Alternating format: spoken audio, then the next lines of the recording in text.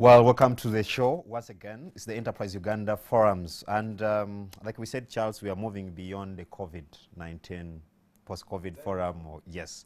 We are looking at business tips how you can make it in business, how you can weather the storm, whether COVID 19 or something else. Again, I'm your host, Charles Boji, and with me in the studio, um, we have a very, very um, quite distinguished guest, uh, but we'll come to that. I'll begin with you, Charles. Uh, good evening, viewers. This is again yet another Sunday afternoon with exciting lessons, exciting tips, and I'm Charles Ocici, the Executive Director of Enterprise Uganda. Now, this is the point when I unveil our guest. Santa, please greet our viewers. Good afternoon, viewers. It is a pleasure to share with you in partnership with uh, Enterprise Uganda and uh, NTV Uganda. I bring you lots of uh, regards from Arapapa by Santa Anzo, a fashion house, fashion studio, and the promoters of Made in Uganda through the Uganda International Fashion Week. That's well put. I don't think I will do that. Very good. Yes, yes. Thank now, you. viewers, today, um, and thank you, Santa, we are looking at the practical business tips on how to start from zero and become a world icon, industry champion, and its leading voice. Now, that's the story we're going to hear. And like we said, our approach is actually to give you these tips from a practical sense of it. Not just in words, but you know, to talk to people that have lived it. We've brought a number of people in our previous shows from different sectors and industries.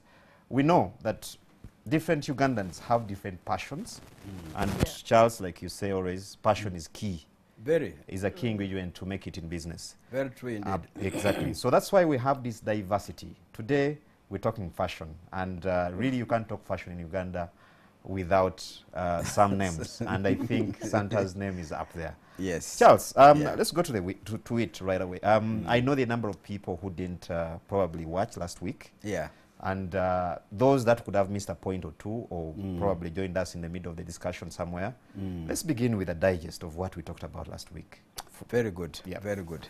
Uh, viewers, thank you so much.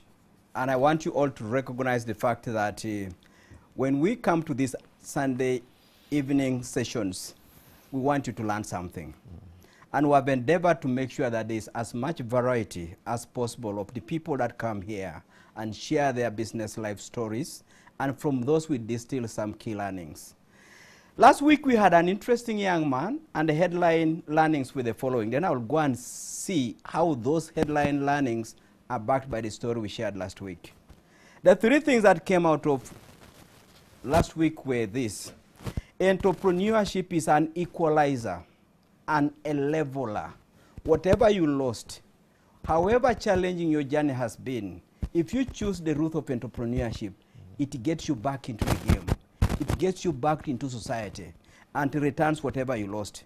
Whatever life denied you in the past can be yours through effective entrepreneurship. And the key word there is effective. That's where Enterprise Uganda comes in. Number two, location, environment, and age are not limitations to prosperity. Provided you become supplier of competitive solutions to the community. The community is not asking where you were born. They are not asking for your age. They are not asking for your color of the skin. What is the solution you are giving? Number three, people's opinions about you are shaped by the solutions you deliver to the society. What solutions are you delivering? You can change those opinions through delivering solutions that alter the conversations about you. With that background of the headlines, here is the story of, Ole- of uh, Gino and how it confirms these three things. According to Gino, Gino, the following points came out. When you love what you do, it becomes easier to become an expert in it. Gino stopped in senior three, Yeah. but is now a respected and a knowledgeable owner of a tree and fruit nursery, supplying OWC, NUSAF, UCDA, NGOs, and local government. Those are not the organizations you supply just because somebody is sympathizing with you. Mm. You have to fulfill the, meet, the, the requirements. Number two, starting the way you are, where you are, define most success stories, but it is advice that's not taken seriously by many of us. Gino used rudimentary carpentry skills to save to buy heifer, sold it to certain nursery. But today, Gino owns 37 acres of land, a modern home, commercial properties, total value 700 Sorry, million. Charles. Maybe for our viewers who missed, that's Gino. Uh, the pictures you're seeing running on your screen. Uh, that's the story of the entrepreneur Charles is referring to that we had last week. Please. So Gino has a portfolio today of 700 million, a 32-year-old, and somebody who never went beyond senior four. Three, your very own people, the people who love you and wish you well, could be a roadblock to your breakthrough. Gino's father warned him against selling the heifer because he thought, at heifer we are seeing it, whatever you intend to do, we don't know what you'll do. but Today, the father of Gino is a proud dad. Why? Gino bought a lot of cattle and is now educating his siblings. And dad is saying, I love my son. I love my son. Four, saving and reinvesting profits are twin requirements for a journey of entrepreneurship, which is extremely demanding journey. To date, Gino has never bought anything sophisticated. He just has a motorcycle. To continue doing what he is doing, he could have afforded a very good car. Just something that's coming out of all these entrepreneurs the component of humility. Exactly. Yeah. Exactly. He could have showed the, the, the world that, you know, you thought you have a degree, you thought you are a managing director, look at my car. Yes. He said, not necessary. Mm. Let me continue to serve the population. Those rewards will flow by themselves. Learning number five. Groups appear to be a good way of reaching many youth, but for those groups to work, they call for structured training in group dynamics and leadership. Gino was a member of a group of 40 people. It disintegrated because of what? Distrust and jealousy. It's not as easy. The moment they are even, even two are tough, three gets deeper, five more complicated, but we tend to just push this young man, the young people there, mm. and say, please go and succeed as a group. Mm. We have given you resources. Managing group dynamics is another thing. It's completely tough and a, diffra- dif- a difficult game. Yeah. Even tough for the most seasoned business people. Yeah. Yeah. Six, when partnerships or groups cease to make sense, despite your very best efforts, let it go. Separate. But when you separate, do what Gino did. He did that, but observed what we call in our trainings the three R's when you are separating. R number one is respect yourself. Don't go around shouting and talking about other people. R number two, respect those people you separated with. They were ignorant. You don't know what could have caused them to take the route they took. R number three, take responsibility so that you stop lamenting about lost opportunities, mm. lost resources. the three R's are important when you are separating Move on. because you don't know when they will, you will again work together. Yeah. Number seven, good human resources is not an easy game for a beginner, for a seasoned person. And Gino started by trying to employ relatives. Along the way, he discovered the most important thing is bring a resource mm. that makes a customer a good consumer of your resources. He ended up getting bosses for his businesses from Hoima. Yeah. There were so many Langi people around him. He mm. said, No problem. Mm. If you want to come, because you don't qualify to be leader, I've got somebody from Bunyoro. And he looked for a profession, an A professional, an agronomist, very important, Mr. Uh, Mr. Bwogi. Yeah. Because we're not simply saying, Where is a Munyoro who is desperate? He simply said, I am looking for somebody who come and add value. Yeah. Number eight, success attracts both ridicule and great networks. You will be ridiculed, but you'll also receive amazing networks. Then what? From you stories, here is what came out. Some locals attributed Gino's success to child sacrifice. Mm. That young man mm. cannot succeed like mm, that. Be careful of your children. He's going to slaughter them. But the same Gino also received great networks across the country and from abroad, DRC Yeah. and Kenya.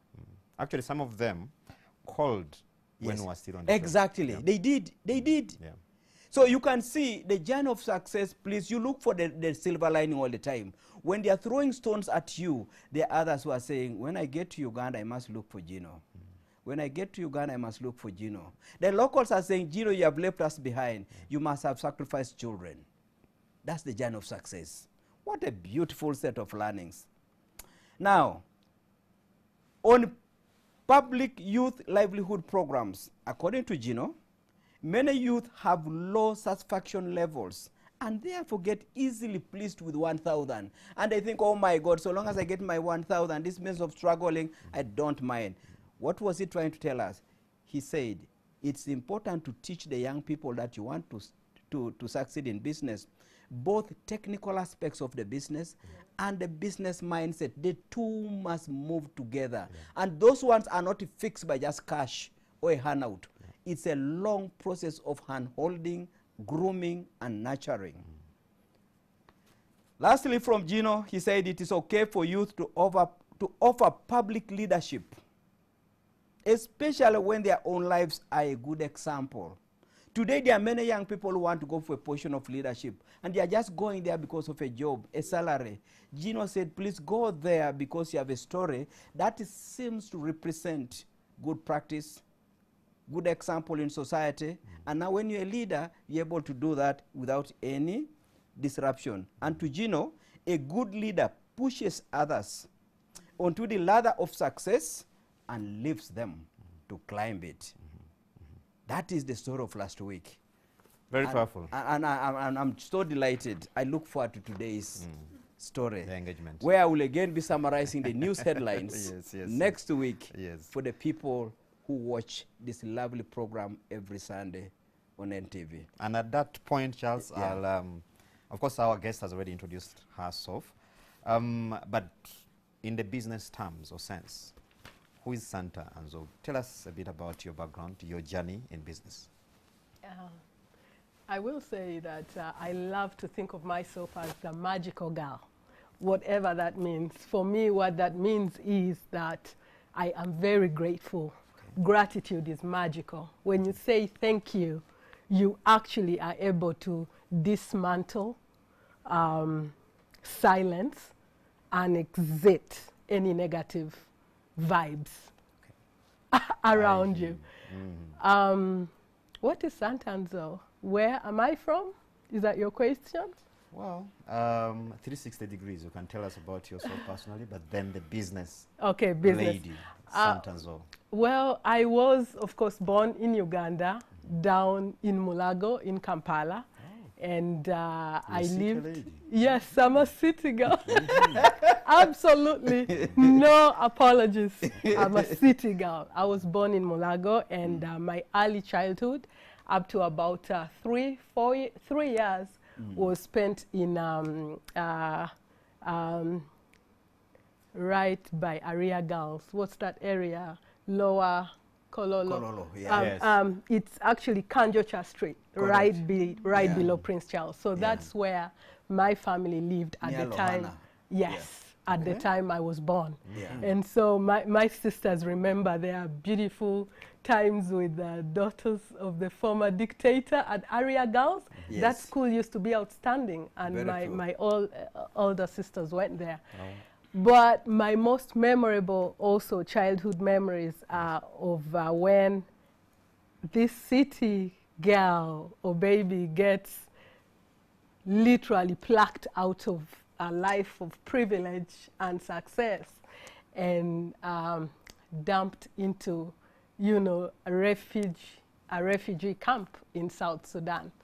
Uh, you know, you know our turbulent history, Yeah. and uh, I think I was by that time about four, and uh, my father was the, I think, human resources manager at the Kinyara Sugar Works. Wow.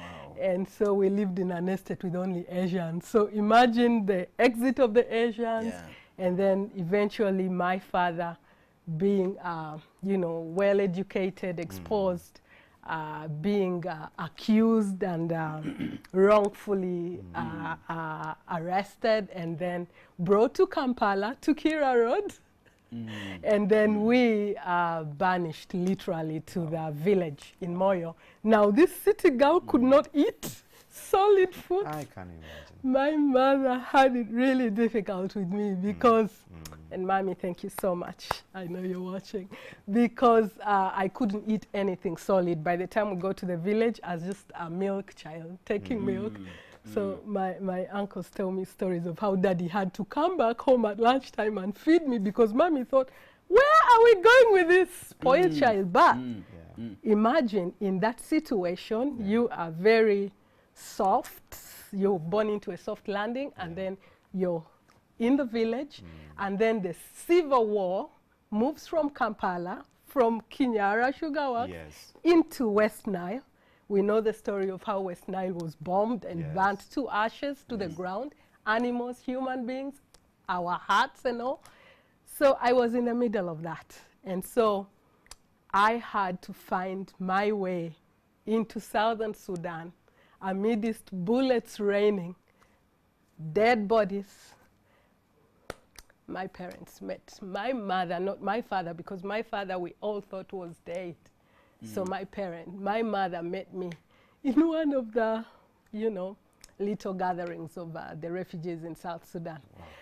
So that's my childhood, uh, my most memorable experience. And then, of course, you know, uh, I got back into Kampala, I think about three years later, when we finally heard that daddy was actually alive. But my dad had, uh, had also been beaten, taken for dead. He was picked up by an Italian priest by the roadside because they knew him was a oh. good man, a mm. good a young man from the seminary. Yeah. They trained him. Mm. He was an excellent student. So they, mm. he lived with the priests, the Italian priests. So this guy is driving, and there's a swarm of flies by the road. And the priest says, you know, sort of like the, the, the Good Samaritan story. Yes. Mm. The priest says, there must be a human around. Around, mm. So he looks, he stops his car, looks over, and turns this body, and he says, "Oh my God, this is my son. I know this, you know, young man." And he mm. picks up Daddy, puts him into his car, and takes him to Lacor Hospital. Anyway, that's how my dad survived, and that's Yeah. how he worked his way back to normalcy, and that's how I was able to be brought back from the wilderness where I ate leaves. my mm, mother, who Literally. my mm. mother was working, plowing or weeding or whatever other people's gardens because we mm. had no land. And I remember we had to dig about, man, meters and meters deep in the sand of South Sudan to mm. get drops of water Wow. to drink, mm. drops of water. It's a dry area, by and large. Mm. Yeah, so, but hey, like I said, magic happens Yeah. yeah. and it happened for me. As a business lady, I am. Um, I will call myself. Uh, first of all, I'm a fashion is passion, so I'm a fashion designer who's very passionate mm-hmm. about what I do. I'm a fashion promoter. I believe that, uh, you know, I believed that uh, not only one person or a few people yes. had this talent in Uganda. And so once I broke into the market, I had this constant um, need deep inside of me to actually open up this industry. Launch myself was done, but now I had to open up the industry to ensure that more talent was discovered, promoted, developed, and that actually Uganda got an identity at the international fashion platform. That is what I made my, my, my, my call.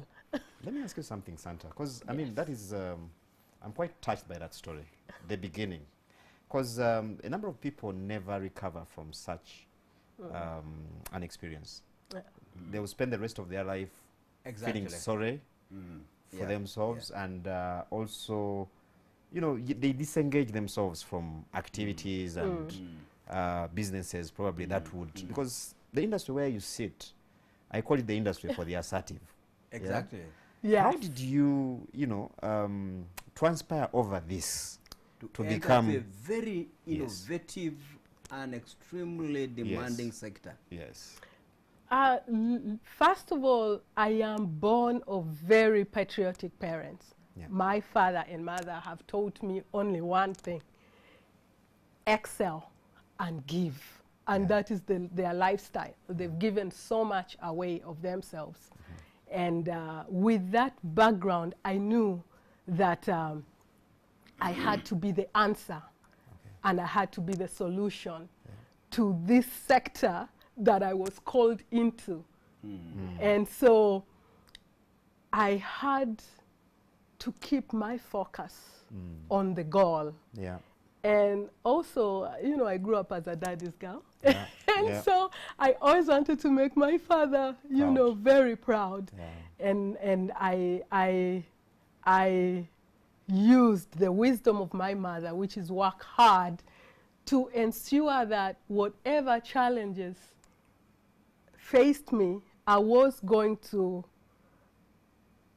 approach them from an angle of gratitude Yeah. and transforming that situation into a positive. Uh, I could have sat back and said, Oh, poor me, you know, I was born well, and now look at this war. But that could have just served a great BBC, CNN story. And end of, end of it, here we had a Uganda that was coming out of very turbulent times. Jobs were not enough. Some of us were creative enough. So my passion for fashion uh, did not give me a rest either. I had to make sure that I had these clothes made. I had to wear them. And I had to get these many girls and boys, my age, by the way, that were interested in the same field. I had to dress them and I had to make sure that we had employment. That's a good one. So, uh, uh, yes. Santa, hold it there. Um, Charles, this is the Yeah. point where I want you to really come in. Um, Yeah. Because, I mean, Yeah. Santa here makes a very, very powerful um, Yeah. uh, Yeah. introduction for us today. Very true. And I true. think there are key lessons that Ugandans can pick here. There are very many. Yeah. Yeah. But I will hi- highlight maybe two or three. Mm. The first thing is that never watch a story of glory and imagine it all started like that. Mm. Who would have imagined a lady who went through this kind of beautiful experience, then bang, you go to the very lowest of life. Mommy is an employee of a villager where mommy goes to dig for food. yes. That is an extreme case. Yes. And for a child to recover from that, the trauma there is unbelievable. It is. So, but then she puts out a few th- points that are really fundamental for life. And one thing that she has mentioned at least three times is a keyword gratitude. Yeah. Gratitude. Gratitude. There are many things that will come your way, and if you have not nothing at all to be grateful for, even just life, you actually disappear to that darkness. That's right. She also had something that she I thought was useful for parents out there. She said, "My parents had two things. They said, please excel, but don't just excel for yourself. Excel and give." That deserves to be caught up in what you would call material for training families. Don't teach your children to excel for the sake of self satisfaction. It is for the sake of changing and transforming society, and your self satisfaction will be broader and deeper. But she also said, now, when she went into the fashion industry, she said, I will wear what I produce, and I want people to begin to appreciate it. Confidence in what you produce. You own a clinic and you want to take your child to another clinic for, for treatment. You own a school and you are taking your child to another Yes, school for studies.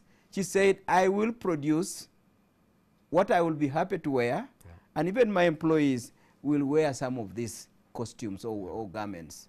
Brilliant, brilliant uh, beginning already of this discussion. Absolutely. Mm. Now, um, Santa, so you begin the business, and um, of course, you've, talk, you've told us about the hustle you had to go through. Because, Yeah. I mean, with that kind of background, definitely you must have built from scratch. Oh, Yeah. yeah. yes. Um, you know, paint for us a picture of um, how now you make it sustainable. Because the start is Exactly. always Yes. I mean, there's a lot of energy, you want to go into it and that kind Yeah. of thing. But some Yes. people burn get, I mean, they burn out at a certain Mm. point. Others get distracted. Others, I mean, there's so many things that happen. And you've, I'm sure you know the story of the mortality rate of business in this country. Yes. How Yeah. did you manage Yeah. to make it Yeah. sustainable? like I said, I'm, I'm a very passionate person, mm. and everything that I get myself into has to succeed because what I offer is priceless. Mm. I am very passionate. Now, when you are passionate about something, in fact, I always tell the younger, you know, upcoming, I say, look, if you're coming into this for the lights, for the glamour, for the paparazzi, for the power and money, Yeah. don't, you know, don't think twice because we have had more, uh, more dark days than the lit up days, I will say. And what has kept me going is the fact that I know and I know and I know that I'm in the right path. Yes. I know and I know and I know that fashion or clothing Yeah. is a sector, much as it is not known in this country Yes. as such, Yes. it has actually, you know, uplifted world class economies such Yes. as mm. Italy, such Yes. as France, mm. Paris, we know Paris for mm. fashion. Milan, that's Italy, we know them for fashion. Uh, the USA, New York, LA. I mean, these are all powerful fashion capitals, London. And what got them there? What got them there is the fact that, you know, they invested heavily in, in this industry, not just, um, you know, not just clothing per se, Yeah. but the entire supply chain was activated, developed, and empowered. Yeah. I, I, I had seen glimpses of this in the movies that my father would bring back from Italy. Yes. Yes. I would yes. watch them, mm, pick mm. something, and I would say, you know what, this is the life I actually want. Want to live. Mm. Yeah, mm, not not not less. And uh, and so I was able to tap into these economies. Yes. Then we didn't have the internet. Mm-hmm. so I read a lot. I read magazines, I read textbooks, I researched, I watched movies. And then I decided that, like I said from the beginning, Yes. these things must happen for Uganda Yeah. if I want to live like an Eskimo and I'm in Uganda, I'm going to form that lifestyle for myself. Hmm. And so I remember my first runway, first catwalk runway, or whenever there was a, um, a, a limitation of fashion shows, I'll use Kampala Road. I'll dress up, arrive in, arrive in the old taxi park, hmm. all dressed up like I'm going on a fashion runway. Hmm. and then my first posture, you know, my first professional walk would hmm. start from the Pioneer Mall. Viewers, sorry, sorry, Santa, that's a good one. Viewers, we have some of Santa's works on the screen. Uh, I'm sure you can see them. That's a, that's a, that's, that takes courage, eh?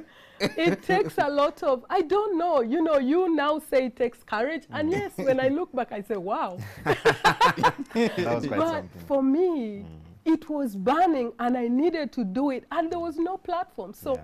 the, i'm telling you the shopkeepers their employees all of those on kampala road they knew that at 11 a.m she will be walking. And they'll be in the they'll be in the shop windows. Mm. And mm. and yeah and so the passion for it mm.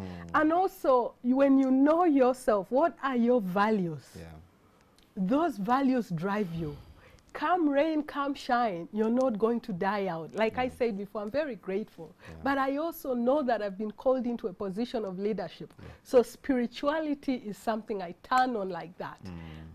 I had the submission of Lino, the guest you had before me, mm. and I was quite, I, I identify with each of his struggles. the experiences could have been, you know, slightly different, but I'm telling you the story is the same. Mm. There will be times that even those you think mm. you're working so hard for, or those you expect to say thank you, oh no.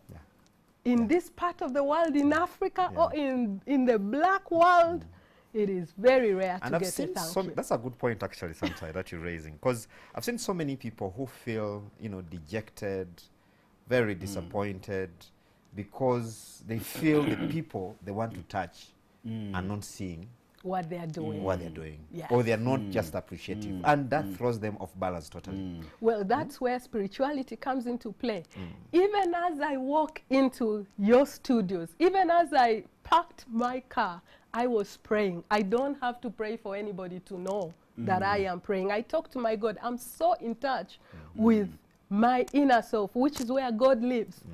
I don't believe that God is up there. I believe that, like Jesus said, the kingdom of God is in our hearts.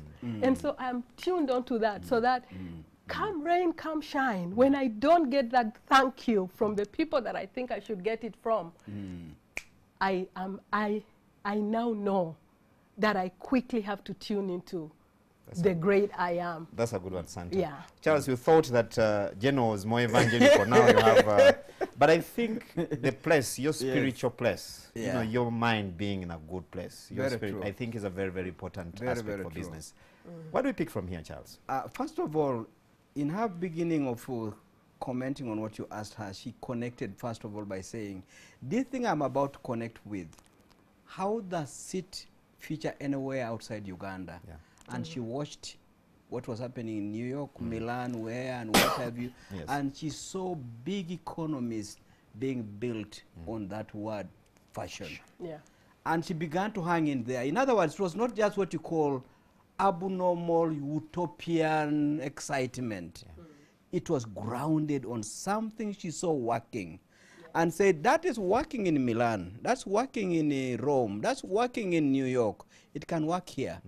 And then the vision began to consume her.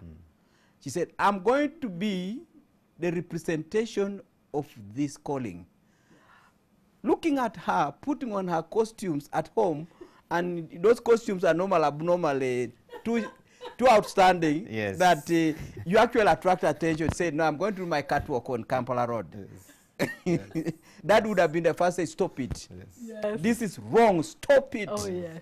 but then she said she got consumed with it and she had values, believing that it's not about what dad may be fearing.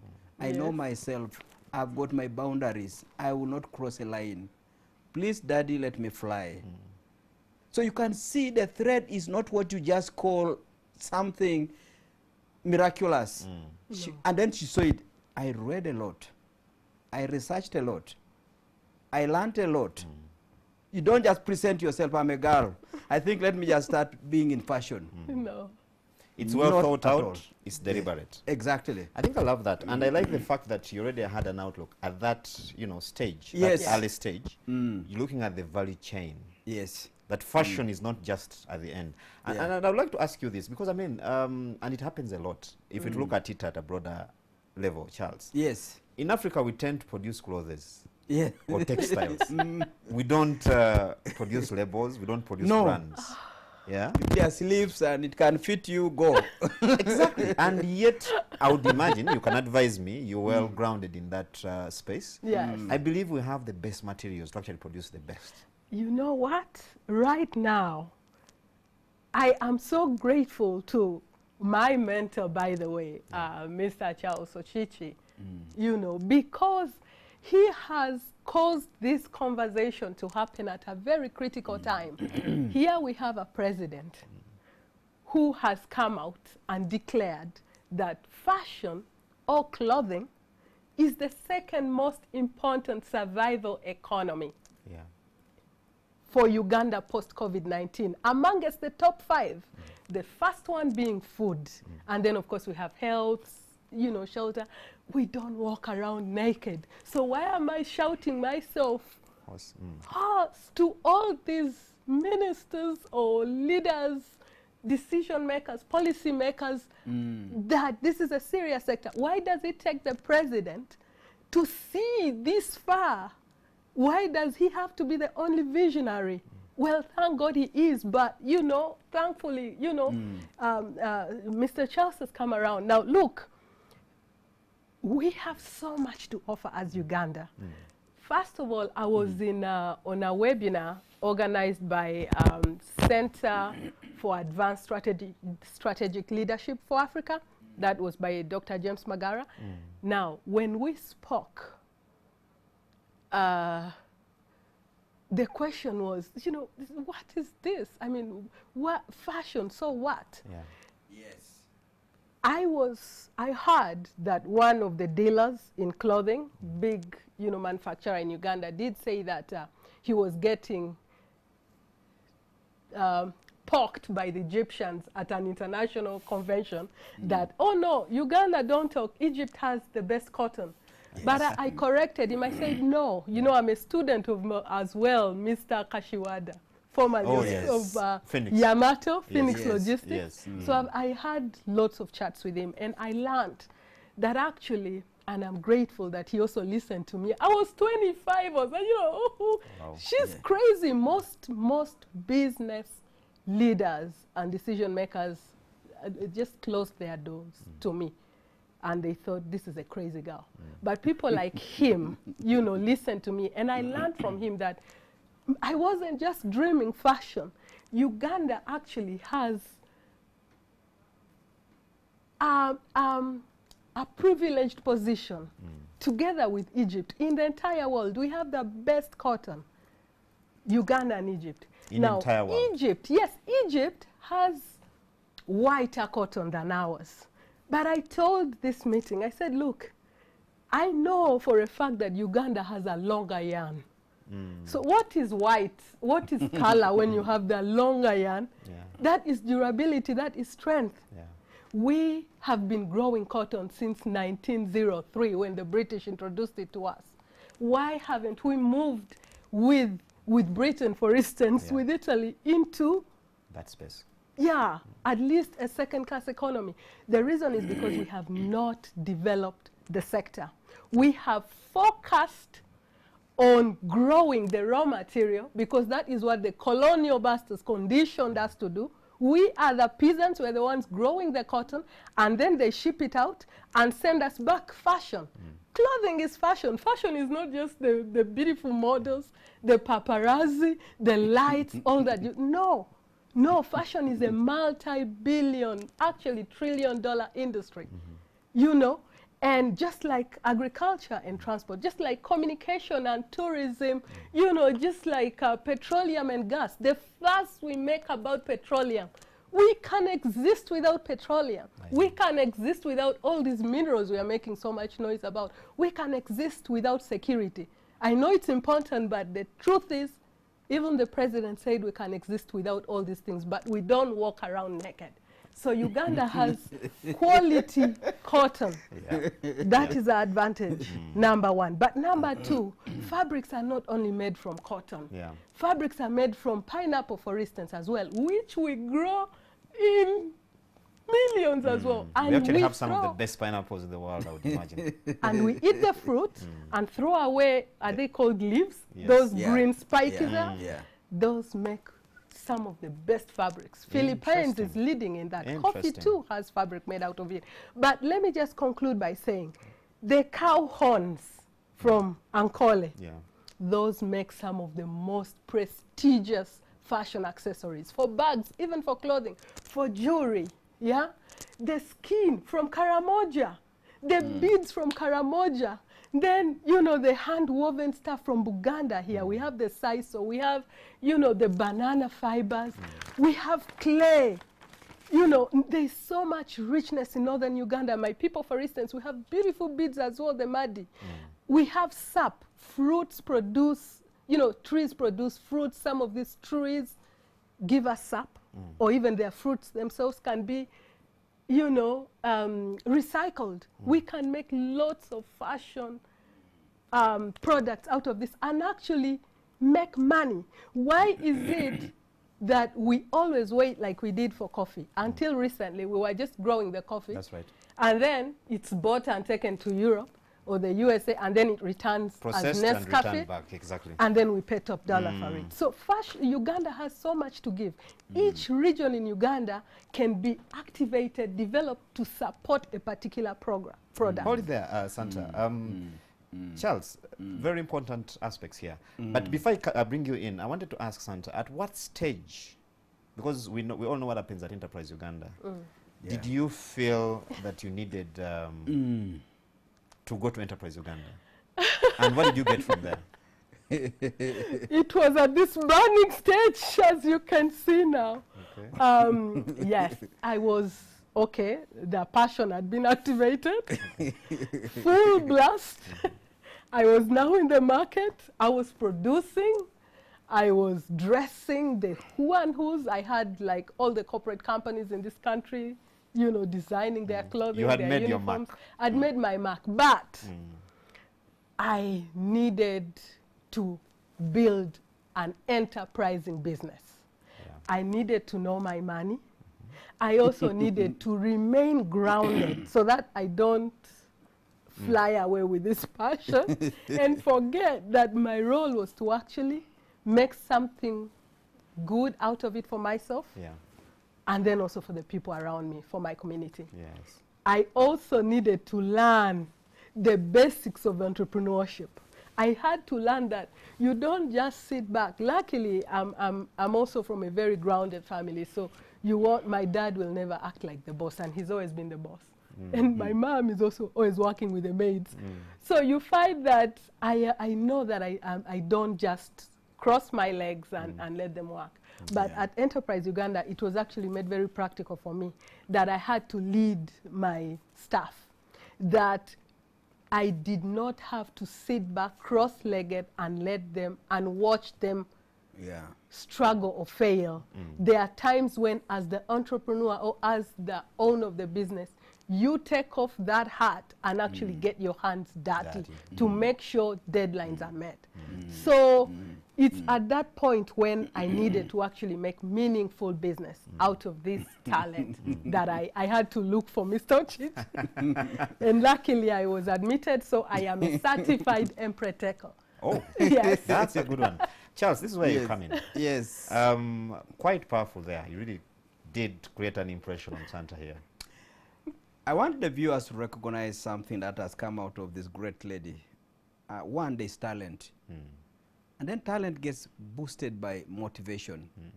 Through it, the family supporting you. Those should have been sufficient ingredients. Hmm. But the business world demands beyond this. Yeah. And the lady discovered, and that's where I bring in a keyword, humility, Yes. that she had limitations on what it meant to manage other people. It's not just about passioning and pushing them. uh, They don't have your exact passion. Yeah. They don't have your exact vision. You need to have the skills on how to get them to catch your vision. And that is something you've got to learn. Delegation. It's not just about saying, I did this myself. Why can't you also do it? It's an art, it's a skill, it's something you learn over time. Now, to bring in, you have got a talent, you are motivated, the family is supporting you. You now need to bring in those business angles to really say, how do we create a business person out of Santa? Because indeed, she is in there not just to survive for today or tomorrow. Something sustainable must be backed by clear principles. And that's where all the elements of running a business come in. We're talking of human resources, we're talking of marketing, we're talking of customer care, we're talking of managing money. She said, Now, I needed to know my money. Yeah. Yeah. Money could keep coming in. If you don't know how to look after expenses, Yes. whatever has come in may be much less compared to the expenses you have spent to bring in a solution. The lady said, I needed now to know my money. Now, this is where we say, please, no matter your level of talent, no matter your level of desire to serve the community, can you ground it with proper business skills? Charles, it's very interesting because mm. um, many people who have made their money Yeah. are really, really tough to advise and counsel. Correct. Especially, they first look at you, Yes. the person who's trying to advise Yes. them, and then they look at themselves, yes. and then back at you, yes. and they're like, you know They have sized you up. Yes. Who are you? yes, yes, What's your track record? What, why do, do you even deserve to give me advice? absolutely. And that's why we have had rarity, fewer business brands in this country that survive on a long-term basis. You were pushed by this energy, but up to a certain point. She's told you she now had top clients. producing great brands. Yeah. But as these numbers blow up, mm. you now need to bring other individuals. Mm. Yeah. That is where it begins to become tough mm. because separating now Santa from the real business, which now needs you to now give the vision, and yet you used to be the hands-on person. Very difficult. Very difficult indeed. Extremely difficult. Santa, where are you now? At what stage are you in, in terms of fashion and industry? Okay, we are two things. we are definitely a very premium brand in this country. We are, we are a, a leader, you know, thought leader. Uh, we are quite recognizable, not only here but you know internationally. Our brand is not new anymore Yeah. in, in, in Europe. It's not new in the rest of Africa, especially South Africa. We are not new in the USA. We've been, you know, celebrated in San Francisco, in Atlanta, in Arizona, in LA, you know, in Washington D.C. So we actually lost two huge events this year in Washington D.C. that were actually going to be quite a stamp Because of for the made in. Uganda. Yes. Mm. And so we are, again, I'm sure Mr. Chich is very well versed with these scenarios. Okay. But I will tell you that with all of this, we are again back to the drawing board. With COVID 19, a lot has changed. I have actually kick-started industry talk shows called The Business Behind Fashion, where you know we, we, we, we give you know uh, uh, solutions. We talk about solutions, not only from within Uganda, but for instance, uh, on Tuesday I'm hosting Nigeria and Tanzania. Okay. I have had uh, Cape Town, South Africa, I've had London, I've had, you know. So we are going global with these talk shows. But the reason we are doing that is because just like tourism, the sector of fashion has been hit the hardest Yeah. uh, during this coronavirus era. Yeah. And we have been stripped of almost everything. Most of our suppliers, Yeah. uh, you know, abroad. And I'm talking South Korea, I'm talking Italy, I'm talking even Dubai, I'm talking lots of shops have been closed. Mm. Um, lots of manufacturing plants have ceased. Uh, I know that uh, Asia is actually suffering a little bit more than most of us because for them they depended a lot on Europe and the USA for orders for business. All of that has been cancelled. So retailers have closed their doors. Arapapa has been partly a retailer. We had an outlet at the Village Mall in Bugolobi. I had to quickly make up my mind in March when the, the lockdown was announced. Because you see, for us, before Uganda declared, uh, you know, a Mm. national The- the lockdown, lockdown, yes. we had been hit in January. Already, the yes. minute Mm. China was hit, the rest of the world, our suppliers were hit. Mm. Yes. Whether the in supply Europe, they chain were was hit. disrupted. Yes, and so Mm. when you get to Uganda, we felt the pinch. Wow. And we could see clearly that what was now selling was clothing, uh, was um, pharmacy, Yeah. the Yeah. medicals, Yeah. and food. And other Yeah. basics, yes. So we have had to close our um, our our our um, uh, our retailing, you know, store. Mm. But it also came with a beautiful opportunity. Mm. I had a World Bank written proposal three years ago, and I had never activated it because the retailer, in the store, the fashion shop was keeping me busy. Mm. And so I never really focused mm. on the bigger picture. This The lockdown gave you. an opportunity to rethink, to reinvent myself, to reimagine That's a good one. situations. And then I was able to call the consultant and say, look, we have an opportunity. And he said that opportunity is not working until the shop Ah, open. is closed Oh. because it's taking all your time and yet the future is in production and i said no i have already submitted my intention Yeah. to terminate my tenancy. Yes. and so i was then we were able to jubilate and say okay now we are thinking alike. I was able to brief my uh, eh, my executive board I was able to share with them my new I and they thought Santa this is brilliant.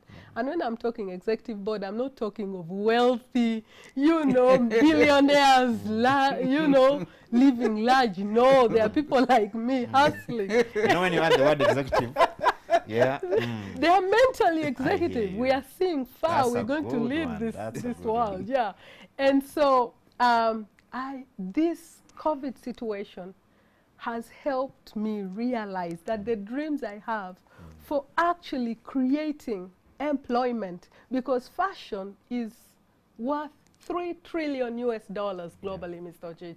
Wow. And yet, China takes 46% of that money. Wow. 37% goes to the EU, mm. led by Germany. Germany has mm. overtaken mm. Italy. Mm-hmm. And then the US, of course, also has its chunk. But then Africa combined, our 10 biggest manufacturers and exporters combined, earn only 0.5% of that money. What happened here? It is sad. It is sad.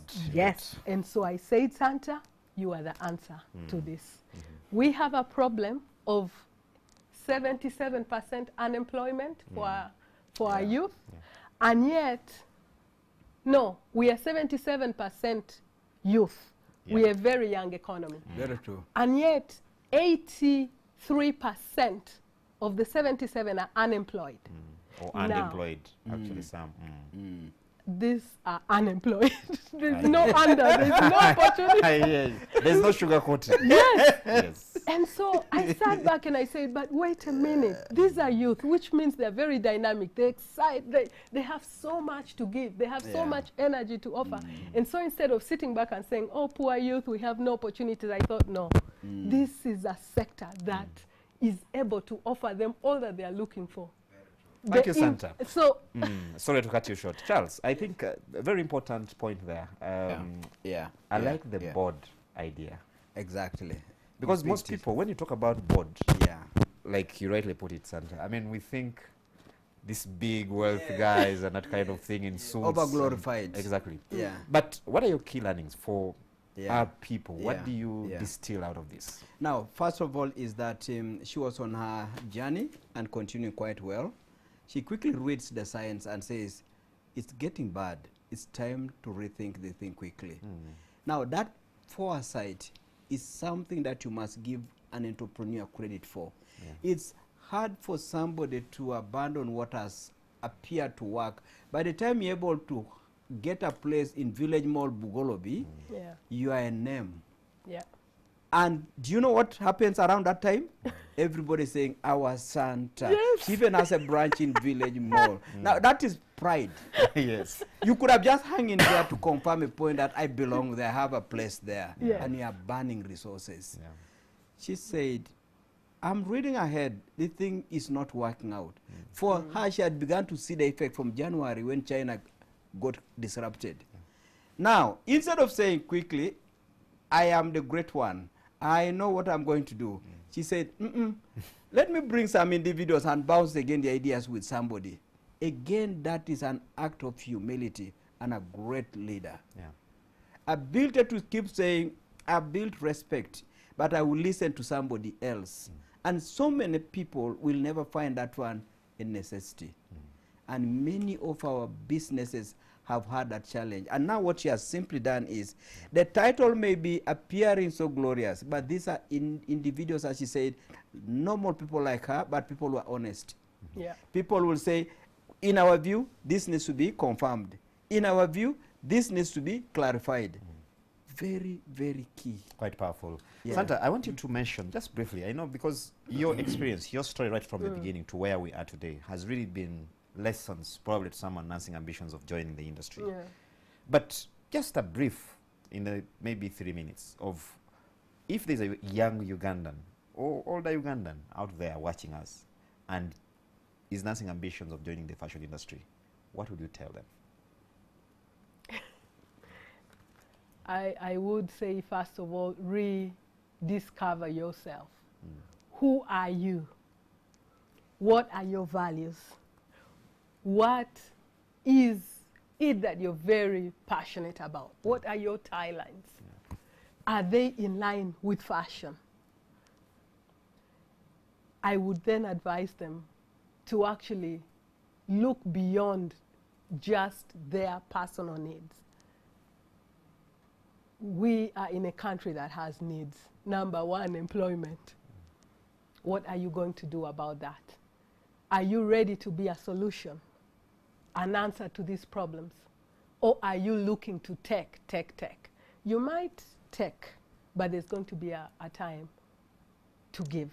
Very good point, Santa. We'll pick it from mm. there. Viewers, mm. we're going to take a very short commercial break. Again, this is the Enterprise Uganda Business Forum. We're looking at the practical business tips on how you can make it in business, whether the storm, COVID-19 or otherwise. We'll pick it from there.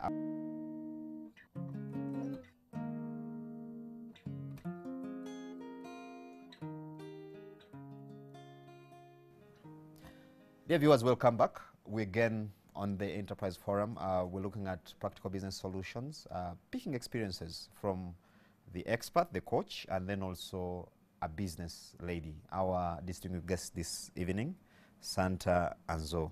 Now, Santa, I want to move to the point of uh, government is now pursuing a policy of import substitution, which would definitely mean that um, we should have some of these things we import Mm. And I've heard the president talking about this passionately, mm. about uh, especially women's hair. Uh, you know, uh, he believes we can do better as a country. Yes. Now, I want to pick your mind. I know you touched a little on that. Um, one, um, do you feel that policy trickling down to you as a player in this sector? Uh, and then two, what do you think should be done to actually make this policy succeed? So that you can derive dividend from buy Uganda, build Uganda? I think as I'm sorry, I'm limited to opinions that I have uh, sought and those that have been very open to share with me. Mm. And uh, number one is the president. Mm. And he, unfortunately, I feel that he's on a, at another level. He's a visionary. He sees far. That is why he can come out and declare and say, this is a $3 trillion business. Mm. Clothing. Clothing is fashion. Fashion is clothing. And we must take it seriously. And I am telling you right there, it almost dies a natural death. Because when you look around, yes, this is the second most important survival, but I love to call it the growth economy. It's a growth economy. Mm. you know, it's very enterprising. But right there, this second most important sector out of five has zero representation across the board. We are definitely not represented in parliament. Mm. We are not represented at the executive level. There is no ministry. Yeah. I have sought the audience of his, uh, uh, the Right Honorable Prime Minister, and he was he said, Santa, I know you, you need no introduction, we need to support you. But then he says, where? and then he will work his way. Mm. Let me call trade, let me call industry. Mm. Yes, they'll listen to him yeah. and it will die. Mm. Because mm. there are no support systems. Yeah. Other sectors have like five representatives, five representatives. Yeah. I can name them, but it's not necessary. Mm. Yeah, you have a sector of maybe transport with about five different government agencies, fully funded, supporting it. The same goes for agriculture. How hmm. many mm. subsections do we have representing agriculture? Now you have, you know, the same for petroleum. Mm. What is the amounts being invested? Tourism. A lot is being done, but this second most important I sit back and I say, look, is this a pro? Are, we so unfortunate as black people in Africa? Are we, have we been so mentally enslaved to the point that we have to only grow cotton and wait for China to dump their hazardous garments in our, in our markets? Mm -hmm. And he said it. He said, these, these people in the arcades, mm. the president said that. I have him on camera. I listen to him because mm. if, I, I, if I, I need someone to believe in my sector, and he has. Yeah. But you see, he said there are kids, there are markets for China and India. How sad. It is sad indeed. And, and there's, there's just, there's no trickle down. I, I am an industry leader. Mm. And of course, I have been since shaking hands with the president. I have met him on several occasions, and I'm, I'm, I'm happy and proud to say that because he saw, he mm. saw more than maybe I even saw myself. Mm. And his belief in me caused me to not stop as all. I have to make sure that I deliver on the promises I made to him. That's a good and the but but the point is, beyond that, there's almost nothing. You. Everybody either doesn't understand, either they think, oh no, you know, she's she's a model. And I'm thinking, yeah, I'm a model and I'm proud of it. I used to be. Yes. I used to be a model and I'm very proud of it. And I would still be a model. Yes. But now God changed the call. It's bigger than Now, that. yes, it Yeah. is. It is. You know, modeling is part of the fashion industry because the models are like, um, how can I put it? For instance, petroleum has mm-hmm. Shell, Total, and all. The models are that for us. No, no. Garments are worn by humans, Exactly. and And, the best human beings have to mm. show off the garment. and I think you put it quite mm. rightly at the beginning because this is an entire value chain. Yes. It can start with the farmer down there who's growing cotton, all the way to the people who Yes. are actually putting Who are together the, manufacturing, manufacturing designing the the, garments. fabrics. Mm. Then the tailors. Even before the, the us, there are those designing the fabrics. Absolutely. or spinning, wind, weaving them. And mm-hmm. then by the time they get to us, the ecosystem is huge. Is we huge. can employ this entire country. at that point, actually, before I bring in Charles, um, mm. Mm. I'd like to ask you about the importance of skill and, if I might extend it, capital in actually bringing out this subsector. Mm-hmm. Um, how would you look at that? money, for me, I look at capital. Money is key. Yeah. Ca- money is part of capital. Mm. Mm. But money delivers most other needs, most other capital needs. Now, money is the fuel. Yeah. if you do not have the necessary capital, for instance, on Tuesday mm. at the Uganda International Fashion Week Yes. virtual talk shows, Yes. our topic is African fashion versus globalization. Yeah. Yes, we are gifted by nature. We love to say that. Yeah. Mm. Yes, we are brand Uganda. But unless you may be a papa, yeah, made in Uganda, great. But when the consumer is buying an outfit, they are not they are not bothered about who made it, first of all. Yeah. They are bothered about first of all, how does it meet the eye? Is it beautiful to look at? Next thing is how has it been made? The packaging has to be right, but the production. Has to be right. And so the skilling is very key for our sector. It is key. I, we had, we hosted uh, His Excellency the President's um, uh, um, special secretary on uh, youth in regards to innovation, value addition, export promotion, and agriculture. Mm. And I say to him, skilling is what this sector needs. Mm. How are we going to compete with cheap China? Yes, it's cheap, but at the same time, it's taking the market. Mm. It's leading. You know, I hear you. we have the second-hand clothing. Much as second-hand clothing, we're a little bit slow because even I started from second-hand clothing. I mm. loved to bend down in a window and select mm, the and best pick. pieces mm.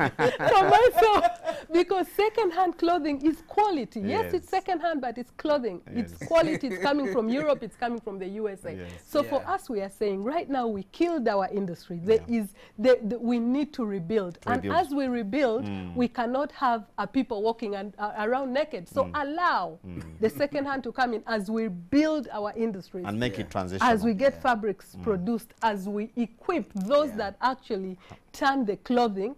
Let me say something about clothing and cotton. Now, All right. cotton fetches us one dollar mm. at the global market. Yeah. Cotton, one kilo of cotton fetches a miserable one dollar. Mm. Yeah? One kilo of fashion, which is made in Uganda by Arapapa or any other fashion designer for that, um, for that Matter. uh, for that matter, yeah. We don't fetch a miserable one dollar. Equip us and see what we'll do for this sector. We do not know the cotton Development Authority or the cotton growers of Italy. No, but we know Gucci. We know Valentino. We know Salvatore Ferragamo. We know Louis Vuitton. We know these guys because they turn the labor of the peasants, the cotton, the fabric into magnificent pieces. And that Santa are here is then trying to be sold di- top dollar. diplomatic. Yeah. Not to actually make that comparison, the analogy come out uh, full cycle. One dollar to something, but it can be hundreds of dollars or Oh, even yes. thousands. Oh, yes. Charles, key learnings here before we have the callers coming, because I'm seeing a number of uh, people here on the line. I think the first one that I see clearly is that Santa has gone beyond just being happy as a person. Mm. She could make her man anywhere and just feel happy about it. Mm. She's saying this sector must become a ringing tone everywhere in this country. That takes a lot of energy. That's right. Especially when you knock every other door and seems to be closed. Yeah. And people are not bothered. They are saying this this model has again come to disturb Yes, us. This model again has come to disturb us. yes. So but she's saying if you want to make a mark, mm. keep knocking. Yes. Keep knocking. Yes, yes. don't Few give up. people may understand your game yes. or your, your, your, your, your concerns. Yes. But she's making a story and making a story with a lot of evidence. Mm, But two, she also makes another very cardinal point about Bubu. mm, Bubu is not just announcing and saying, you know, this is made no. in Uganda. Yes. You buy it. mm, She's saying anybody buying an item is not saying who made it. mm. It's him saying, "Ah, is it exactly what I wanted? Does it fulfill my expectations? Yes. If it doesn't, remove your Bubu. Yes. I'm not interested in your Bubu. Yeah. I want something that will work for my children, Yeah. for my bedroom, for my dining table. Where is it? Where has it come from? I'm not interested. Skilling is fundamental. Bubu is a great policy. Back it up with the practical interventions. Yeah. And that's good coming from a professional. I think that's quite powerful. You need Yeah. to tool them to actually Yeah. deliver on that. Yeah. Viewers, at this point, you can be part of the discussion. Uh, for any question or comments, I can now pick the calls. Um, when you come through, please just give us your name and your quick comment or question. Hello, you live on um, NTV? Hello? Well, I think uh, we still have a bit of an issue on the on the on the lines there. Santa, um, I'm sure there are people who have, um, before listening to you today, would just look at you and say, "I think she was born uh, with, uh, like they say, a silver spoon."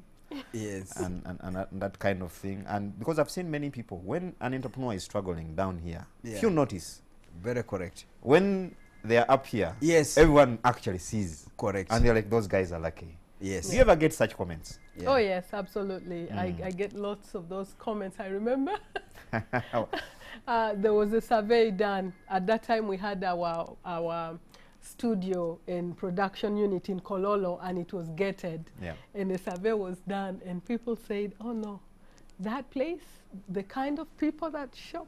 At Arapapa must be like Arapapa herself, and they were listed. Yes. The excellencies. sorry, so, sorry, Santa, I have to cut you short. I have a call on the line. Hello, kindly give us, you live on NTV, give us your name, quick question or comment.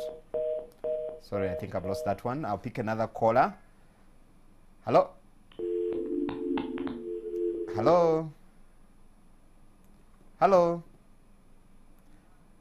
Well, hello, caller? Hello. Sorry, I seem to have an issue with some of my lines today. But you can also reach us. There's a uh, mobile number on the screen. Um, uh, if you have any quick question or comment, you can drop me a WhatsApp, and then we can have it as a discussion here. Yes, Santa, you are still continuing on that. Hello. Sorry. Hello. Yes. Kindly give us your name and your question or comment. Hello? Well, I think my lines, you know, sometimes I have many callers, so they, they tend to jam my lines at times. So, um, viewers, you can just give us, um, there's a line, a number on the screen. Just drop your question or, quem- or comment, and then we can, you know, pick it uh, here in the studio. So, Santa, how do you respond to such people who think that it's it is luck? It's, um, I mean, you just found yourself there, you landed. Uh, I'll- I know it's no, it's not luck. It hmm. is very hard work. Hmm. We made 19 years, Mr. Ocici, by the way, Wow, in Jalu- July, and I didn't even realize it because we were busy carrying tables, shifting out of the village mall to our, Yes. to our factory outlet. Yeah, so hmm. um, Arapapa is described in totality in three words. Persistence.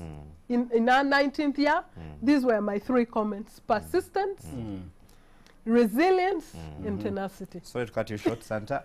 I have a number of viewers calling me. Please just drop us a WhatsApp. Um, we can pick it from there. Don't just call on that line, uh, the mobile phone line on the screen. Just drop a WhatsApp. We'll pick your message. Yes. So I, I, I say that it's persistence, it is resilience, and it's tenacity. Yes. That's what's gotten us to 19 years as Arapapa and, and, and oh, Arapapa, it's actually Arapapa. So you people have modernized it and you make me call it Arapapa. It's Arapapa. And- Arapapa. yeah, and yeah, so it's not been easy. As a matter of fact, even though my dad, my parents were able, Yeah. when I started, my dad had retired. Okay. Mm. So he looked at me and he said, What am I going to do, mm-hmm. you know, for my girl? Yes. Yeah. He could not support me Yes. because he also believes, you know, I've educated you. Mm. You have cousins. There is a little, there's an old woman mm. at the, whose kids need to go to school, you know. So mm. somehow there was nothing. I started at zero and I had, we started in a driveway mm, Wow. in, Yes. in uh, Buganda Road. Mm. So my models will do their work mm. and the client for uh, our host would show up Yeah. and will stop freeze, get off the driveway, allow them to drive, and then regroup.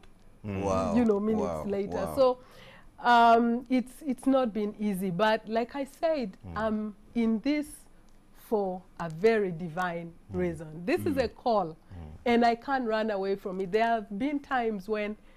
Even sector players have asked me, event managers, why are you doing this fashion week? It's drained you.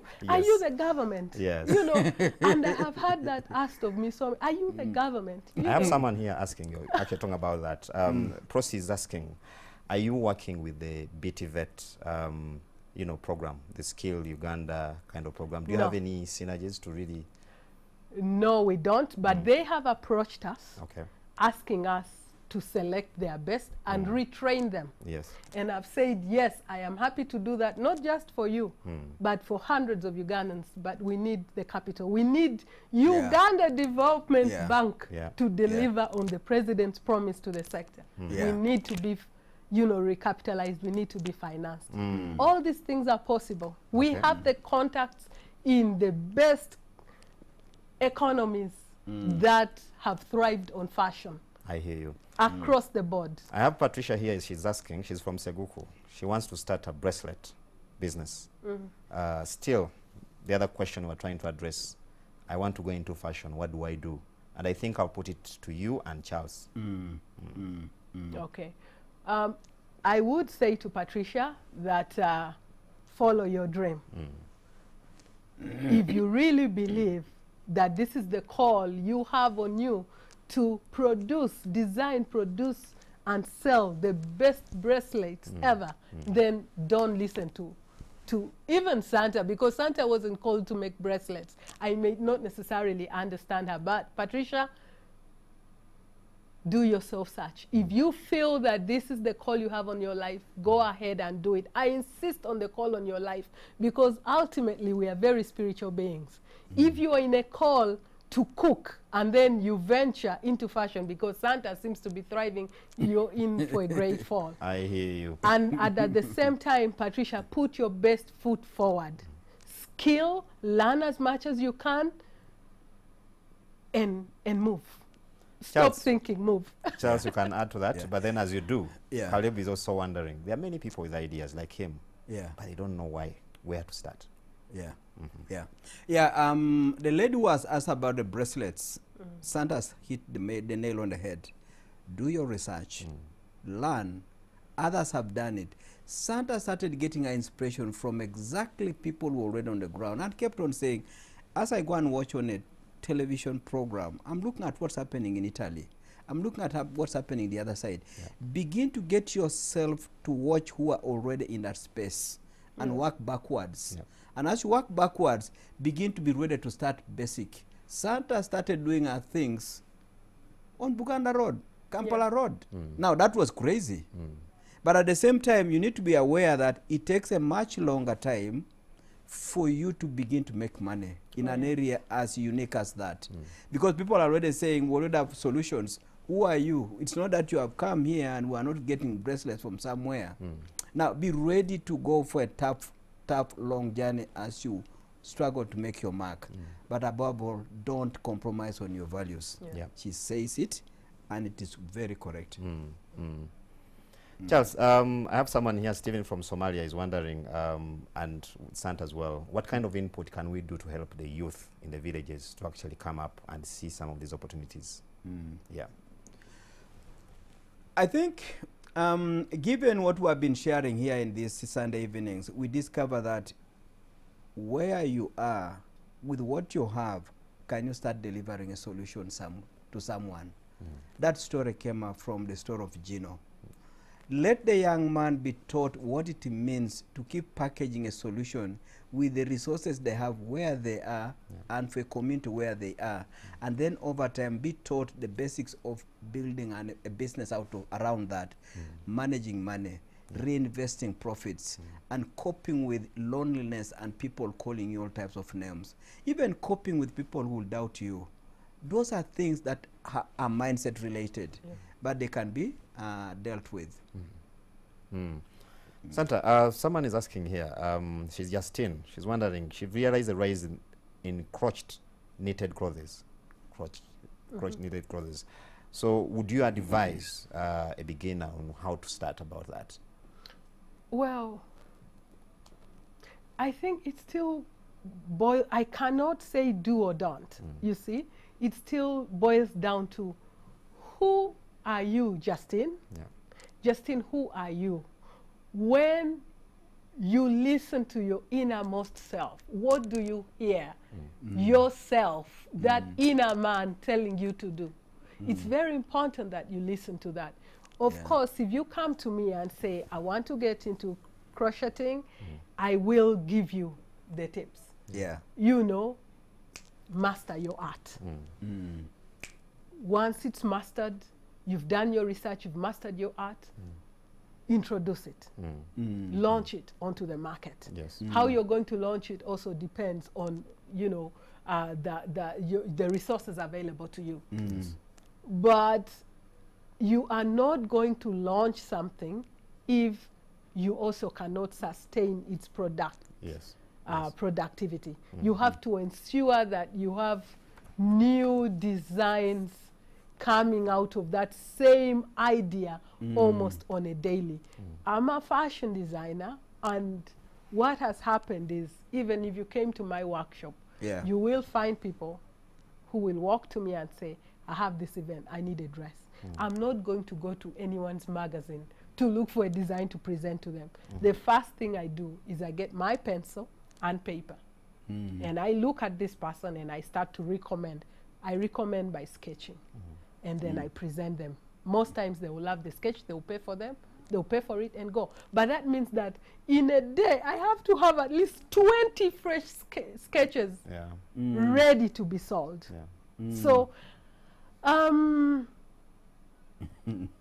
get in touch with yourself. Is that for? Sh- is that what you know for sure you want to do? Yeah. And then get equipped. Good starting point. Charles, I have about 15 people here who want to get mentored Yes. and want to know how to get in touch with you Yes. and uh, how they can go about it. Right.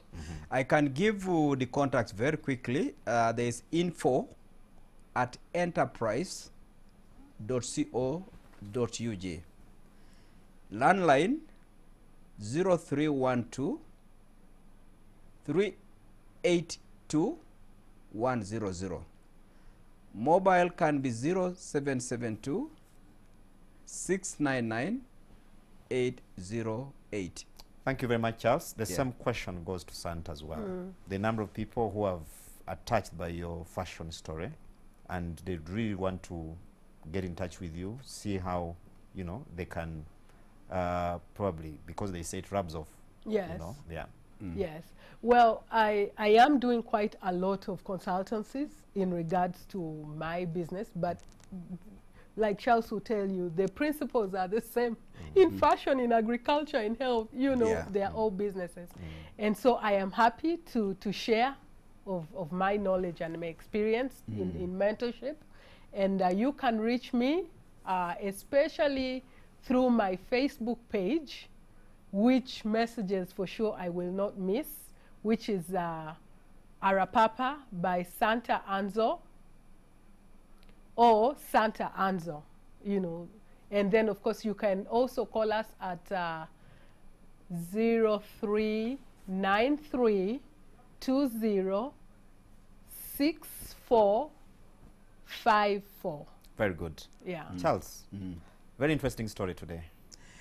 extremely interesting and uh, it is interesting to see that somebody who opened a totally new sector has remained true to the calling and not only is she saying to hell if nobody wants to listen to me i am also tired she's saying until my last drop my last energy is removed i'm at it that resilience Yeah. and you saw her three guiding principles Yeah. persistence Resilience, resilience, tenacity. tenacity. Mm. All those three words just bring one thing at the end of it all sweat. Yeah. Yeah. Sweat it out. Yeah. Yeah. Sweat it out. And look at what she said about how to serve a customer. Every day it's a customized solution. Yes. You could get tired.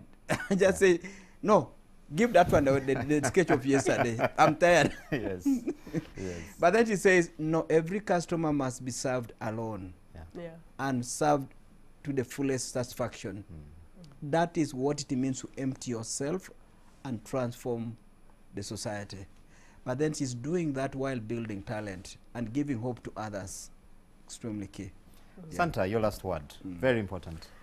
Um, I gratitude uh, to Enterprise Uganda for this Mm. conversation, to NTV for hosting us, and then to my family. Thank you so much, my sisters and brothers. Most especially my dad, Peter Ikudolo. Uh, thank you so much. He's um, not very well right now. He's 83, so we are very proud of Wow. him. Walking his 83rd journey. And of course, my mom, Chezira Ikudolo, and my lovely, lovely, lovely little girl, Elata. She mm-hmm. prayed for me when I was coming here. and she said, please be yourself. Mm, mm, yes. Mm. And of course, uh, I would like to call upon the general public, the government of Uganda, that it was not by accident or he wasn't in a dream when, his pre- when the president said that fashion is the second most important growth economy post COVID 19. Mm. We need to create jobs for our, you know, our youth and women who are naturally called to be in this sector. This is a three trillion dollar industry mm-hmm. capable of employing all unemployed, but at the same time mm. capable of bringing in the dollars in millions that mm-hmm. Uganda needs. Mm-hmm. We, you are lucky, we are lucky to have ourselves. My sector is self-driven. We mm. are passionate. I have colleagues mm-hmm. that are in, are in this with me. Mm. It's a do or die for us, mm. and we are moving forward. And would like for you to join us. Let us promote and create, you know, brand Uganda, made in Uganda, and let's give it a very, you know, world-class appeal. Thank and you know, we, we, we are happy. Thank you very much. Santa. Mm. It's been a pleasure really um, having you around. Very, and uh, Charles, true. thank you as always. Thank you. Viewers, um, I'm sure you've taken notes and you've picked quite something. Mm. Quite inspirational, inspirational stuff uh, Yeah. from here. We're committed here, same time next week, to continue giving you more of such tips, experiences of people that are practicing. I mean, Santa and fashion, really, you cannot separate the two. Yes, so that's the approach we are taking, and Enterprise Uganda is committed with NTV Uganda to actually bring you the best uh, in the industry so that you can pick as much information and knowledge and education out of this. Because we know, like we always say, Charles, there's big business acumen, yes. but there's mentorship as well. You have to be coached and refined to actually do things in a certain way. I've been your host, Charles Boji. I would like to wish you a very good evening. Thank you for watching. Catch you next time.